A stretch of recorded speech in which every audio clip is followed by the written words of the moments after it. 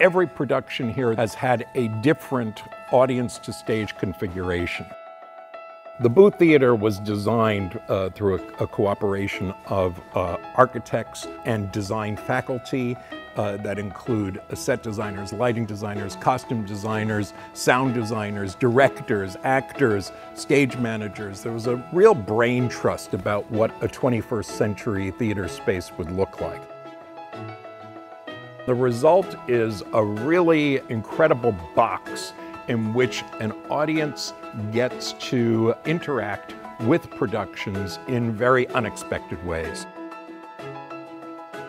Antigone speaks potently to the idea that people must rise up to corrupt power.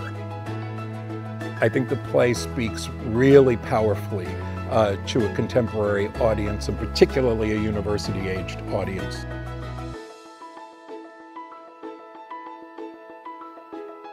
The entire stage area, performance area, is trapped, meaning that you can open up bits of the stage that take you all the way down, about 12 feet down to the bottom of the trap room.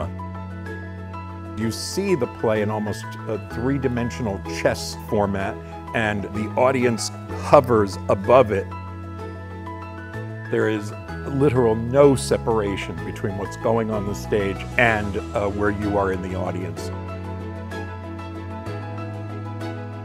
Whenever you do a play, I think the thing you are hoping for is that an audience will be compelled by an understanding of their own present circumstance. We can learn through our imaginations. We don't have to live it. We can imagine it, and we can allow ourselves to be transformed by exercises of the imagination.